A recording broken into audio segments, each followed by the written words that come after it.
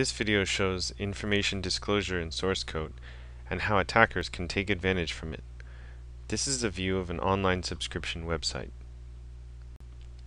This is the student email db.cs class. This class contains the insert email info method to make a connection to a database and insert the user's information into a table. The get connection string method is called to make a database connection. The getConnection string method takes a call to system.configuration, which references the web.config file. In this file, we can find the connection strings tag, which contains the full database connection string, the data source, initial catalogs, the user ID, and password. This sensitive information is exposed to people with privileged access to the source code. Someone with physical access to the computer can easily access the data. Someone with access to the source code can steal this database connection string and tamper with the database. Now, how do we reverse engineer the information exposure attack? First, we look at the misuse case view of the online subscription website. This view presents extensions and exceptions to the main success scenario, which are potential attack vectors. From this view, we can see what developers intended users to do, and what hackers can actually do with the system. When executing the code of the application, a regular user, for example an authorized user, intends only to check the database connection to verify whether the insertion of records works well.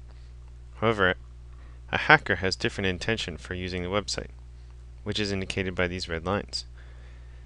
A hacker, who is also an authorized user, could view the web.config file and steal the database connection string. Once the hacker obtains this connection string, he or she can just make a direct connection using the SQL Server Management Studio. Once the connection is made, the hacker can do just about anything with the entire database. The hacker can view, edit, modify, or delete records from this database. Now we explore our process view. This view contains additional information about the flow of control during the interaction and can show specific locations within a sequence of method calls where the system can be exploited. In a case of a regular user accessing the website, program execution starts when an authorized user accesses the application and the code tests the database connection. The program calls registrationform.aspx.cs that displays a GUI to the user to take the user input.